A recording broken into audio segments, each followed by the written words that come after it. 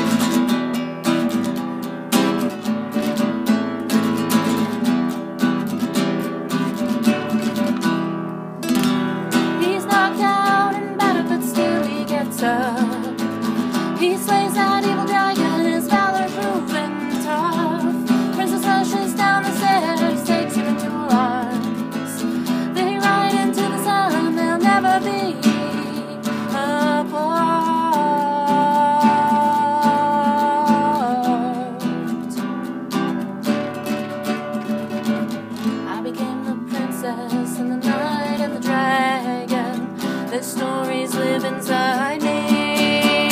Let me see.